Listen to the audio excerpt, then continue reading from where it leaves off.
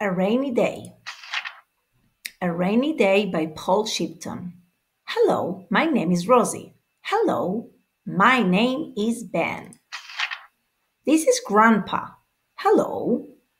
Let's play a board game, says Ben. No, says Rosie, let's go to the park.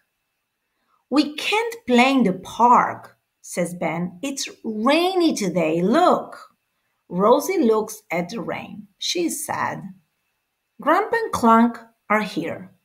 I have a new machine, children, says Grandpa. Clunk the robot has the new machine in his hands. There is a wheel on the machine. Grandpa turns the wheel to Sunny.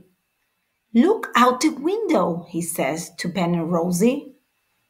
It isn't rainy, says Rosie. It's sunny. We can go to the park. The children run and play in the park. Then Rosie says, Let's play with the kite. We can't fly the kite, says Ben. It isn't windy. Clunk turns the wheel on the machine to windy. Thank you, Clunk, says Rosie. The kite goes up. And the ball goes up. It hits the machine. The wheel turns and turns. It doesn't stop. It is sunny. Then it is cloudy. There is rain. Then there is snow. My machine, says Grandpa.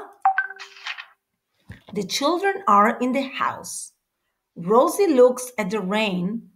I like playing board games, she says. This is the end. If you would like, you can continue and have some activities from the book.